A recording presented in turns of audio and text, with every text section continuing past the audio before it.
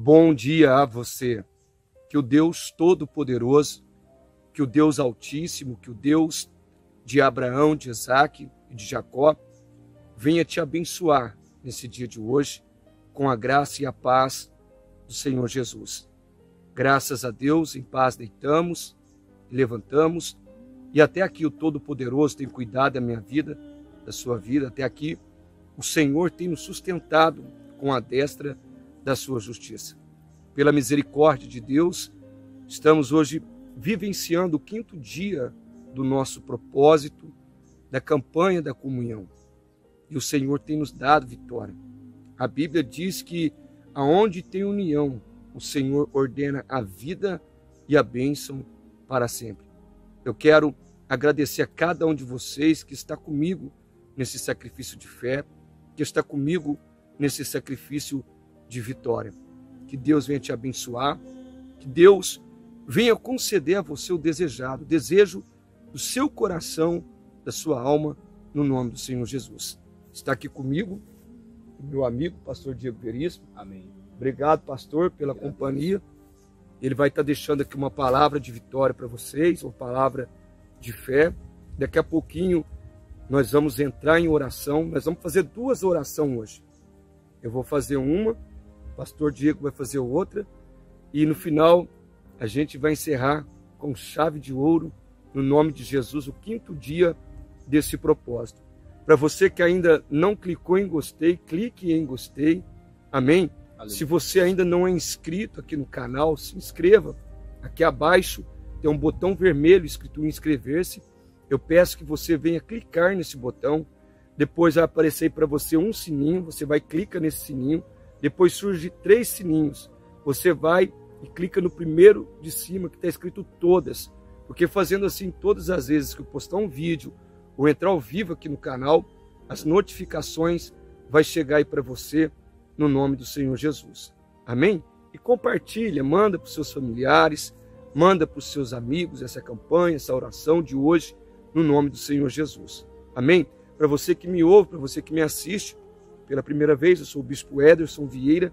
Eu quero aqui desejar você um bem-vindo ao nosso canal. Agora, para você que já me acompanha todos os dias, eu quero dizer a você que para mim é uma felicidade muito grande, uma alegria muito grande poder estar com cada um de vocês na presença do Rei dos Reis e Senhor dos Senhores. Amém? Eu quero passar a palavra para o pastor Diego Veríssimo, Amém. no nome de Jesus. Glória a Jesus. A paz do Senhor Jesus a todos.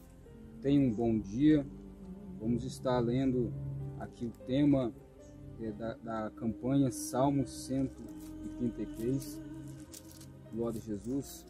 Meus irmãos, é uma campanha muito forte, né? Salmo 133, onde fala da unidade.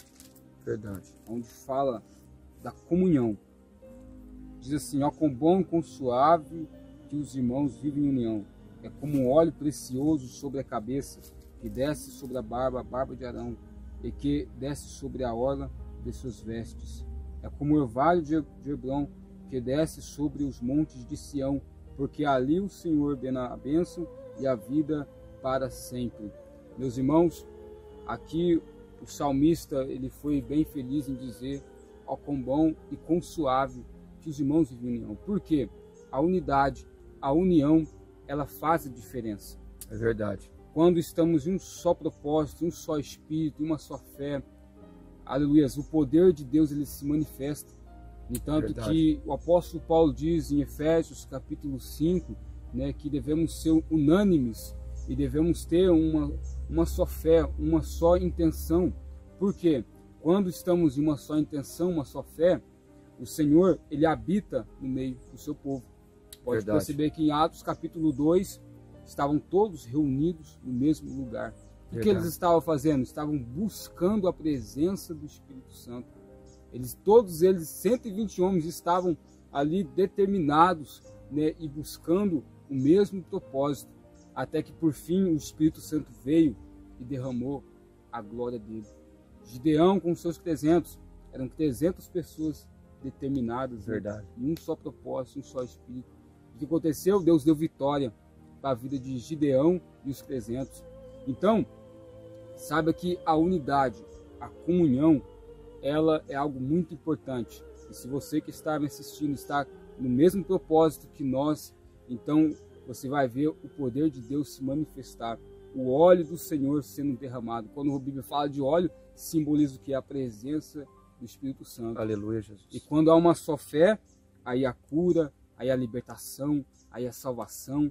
Pode perceber que Jesus mesmo, ele, a, os lugares que ele fez mais milagre foi aonde o povo acreditou mais. Verdade. Né? A uhum. cidade onde eles rejeitou ele, aconteceu poucos sinais. Então, aonde tem um, um só pensamento, né, o milagre acontece. É verdade. Amém. Eu quero deixar essa palavra para você. Amém. Seja determinado e tenha um só propósito. Vamos unir nossa fé né, para que aconteça o milagre de Deus. Amém. Irmãos, o pastor vai estar orando, tá? Vamos continuar firme.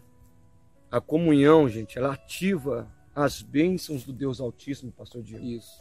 Pastor, ele citou aqui alguns versículos bíblicos, algumas passagens bíblicas sobre homens que tiveram vitória através da unidade. Pastor, é exatamente por esse motivo que o perverso tenta colocar desunião na família, Isso, no casal, no né? Casal. Entre pais e filhos, Isso. entre os irmãos da igreja. Verdade. Porque através da contenda, da porfia, da desunião, da discórdia, o inimigo encontra brecha. Verdade. Aí, ao invés de vir a bênção de Deus, acaba surgindo a maldição que vem do próprio maligno. Isso. Então, para a gente ser abençoados, a gente tem que ter união. Estou aqui com o pastor Diego, junto com você nessa oportunidade. Nós estamos em uma só fé, em um só propósito, em um só espírito. Estamos aqui de coração inteiro, né, pastor? Isso. Sem barreira alguma. E a bênção de Deus é sobre nós. Nós vamos vencer e triunfar mais e mais. Glória a Deus, verdade. Não é verdade? Glória a Deus. Pastor, pode orar, vamos estar orando. Amém. Feche os teus olhos e oremos. Soberano Deus, eterno Sim, Pai. pai. Aqui estamos, ó Pai, na tua presença, Senhor. Sim, meu Deus. Aqui estamos clamando, ó Pai, a tua a tua presença, porque, ó Pai, existem Sim, pessoas, ó Pai, que estão vivendo, ó Pai, em desunião nas famílias, ó Sim, Pai, nos, nos casamentos. Ó Pai, eu peço ao Senhor que venha visitar, ó Deus, a cada lar, a cada família, Sim, venha Pai. repreender, ó Pai, todo espírito de contenda, Repreenda todo espírito que vem causando a, a desunião. Faça venha isso. colocando as barreiras. Senhor, venha repreendendo todo o mal, todas as mágoas, Sim, todos os ressentimentos. Terra Meu. Pai, quebra todo o mal contra a vida deles. Ó Pai, que haja Sim, unidade. Ó Sim, Pai, Pai. neste casal, que haja unidade, Senhor. Meu Pai, nesta família, nos filhos com os Sim, meu pais, os pais com os filhos.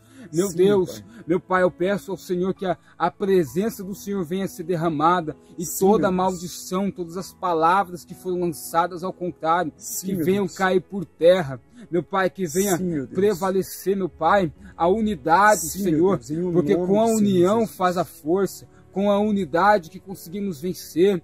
Meu Deus Ei, e meu Pai, venha abençoar, ó Deus, oh meu Pai, a vida espiritual Sim, dessa Deus, pessoa, a vida sentimental. Ó Pai, venha abençoar, meu Deus, Faça em isso. todas as áreas da vida dela. Ó Pai, restaura Deus. essa comunhão, essa unidade. E Restaura principalmente, mesmo. Senhor, a un- união com o Senhor.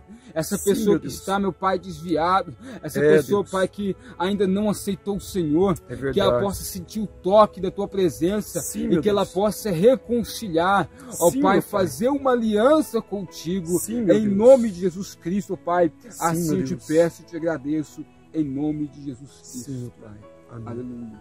Meus irmãos, antes de estar fazendo a oração, eu quero aqui ler mais uma palavra para vocês.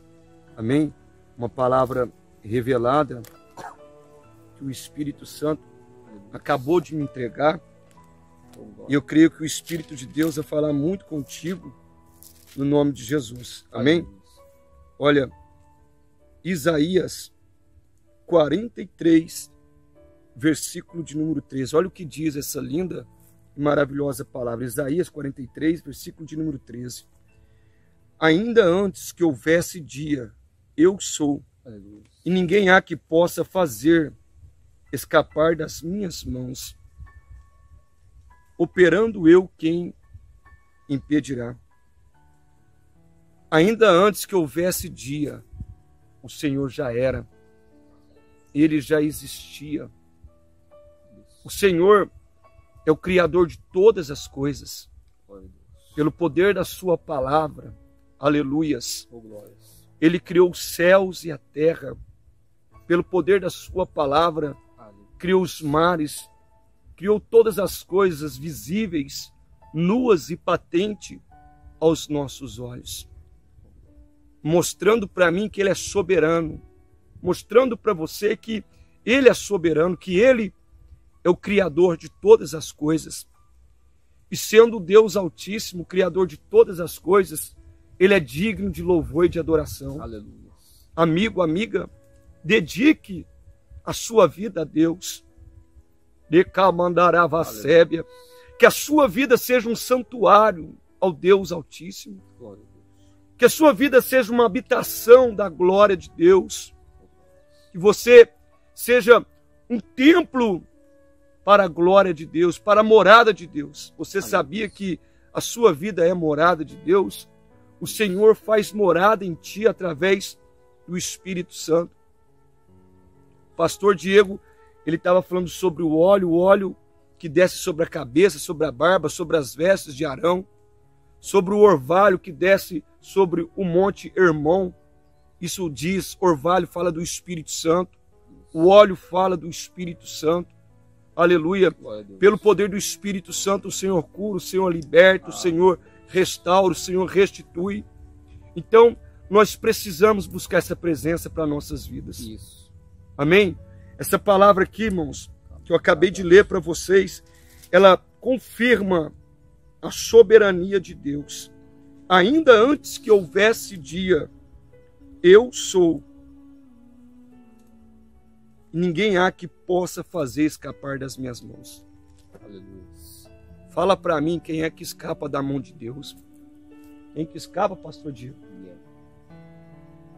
Ecamandarava sébia eu estou aqui pregando, o Senhor me faz lembrar de Senaqueribe. Senaqueribe era um rei perverso, mais ou menos que nem Putin, é um rei da Rússia, Isso. um rei mau. E ele queria destruir Jerusalém como Putin quer destruir a Ucrânia.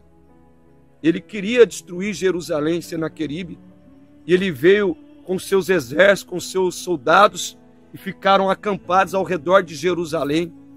E ali, através dos seus servos, ele mandava ameaças para o rei Ezequias, pedindo para Ezequias se entregar, porque os deuses das outras nações não puderam livrar o seu povo, e também o Deus de Israel não vai livrar a Ezequias a ajudar em Jerusalém. E ali Ezequias, quando ele lê aquelas cartas de ameaças, ele apresenta ao profeta, os dois se ajuntam em uma só fé, em um só propósito, em um só espírito como está eu e o pastor Diego aqui na presença de Deus junto contigo agora. E ali ele se humilha, né, pastor? Se humilha. Na presença de Deus, chora na presença de Deus. E o Senhor começa a usar o profeta e começa a dizer para Ezequias: Olha, Ezequias, pelo mesmo caminho que Senaqueribe veio, ele vai voltar envergonhado.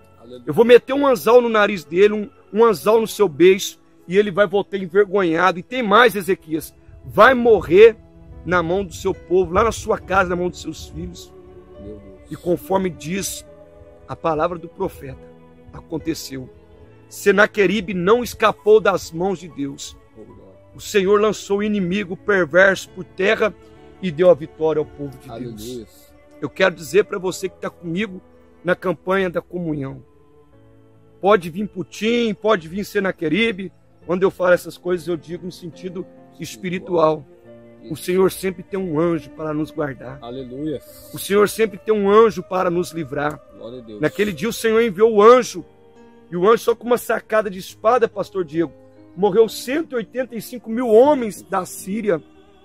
E Senaqueribe voltou envergonhado e foi morto pela espada dos seus filhos. Olha para você ver o que, que Deus faz por amor dos seus escolhidos. Aleluia. Ninguém pode escapar das mãos de Deus. E falando sobre escapar das mãos de Deus, seu casamento, seus filhos, a sua família, você está nas mãos de Deus. Você não vai escapar, sua família não vai escapar.